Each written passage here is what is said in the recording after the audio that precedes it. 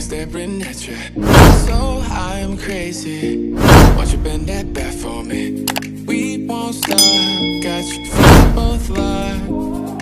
You get to fly with me. So guys, unang-una, pupunta tayo dito sa ating Chrome.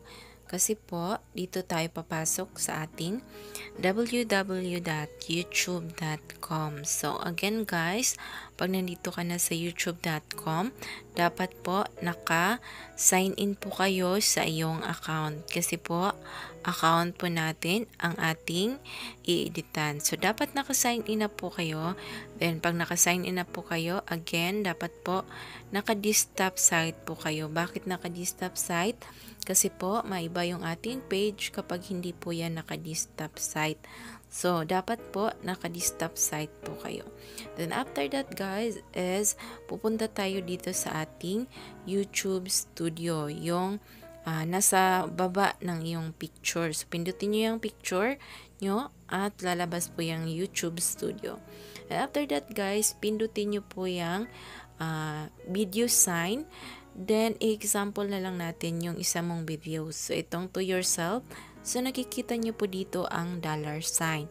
So, pindutin nyo po yung dollar sign para po makapaglagay po tayo ng ads. So, minsan po, automatic um, maglagay ng ads si Lolo, YT. So, tayo po is ito po ay manual.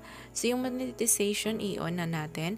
Then, i-check po natin yung box na nasa loob nasa loob. And after that, guys, is i-check din natin yung nasa gilid na uh, sponsored card. Basta lahat po ng box is i-check po natin. No, after that is i-check nyo po lahat dito.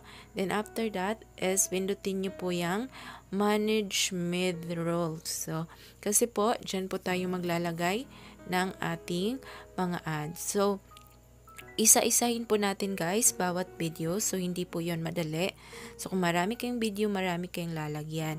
So after that is binatin nyo po lang itong uh, anong tawag nito? Basta binatin nyo lang to sa gusto nyong sign.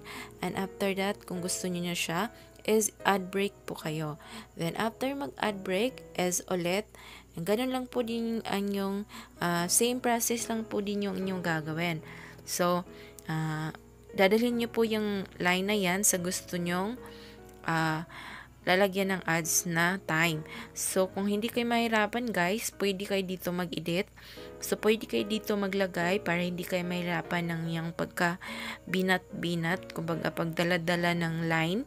So, pwede kayo dyan mag-edit ng mga anong gusto nyong time. So, ad break ulit guys. So, Pagkatapos nyo malagyan ng ad break na tapos na yung gusto nyong uh, lagyan ng ads, so, punta naman tayo guys doon sa uh, continue. No? So, pindutin nyo lang yung continue sa taas.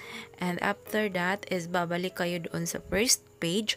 At makikita nyo dyan sa gilid is save. So, automatic na po yan guys pag play nyo doon is uh, may ads na po kayo. So, that's all for today's video, guys. Sana may nakukuha kayo this video. And kung may katanungan kayo, just comment down below para po masagot ko kayo. So, God bless everyone and thank you.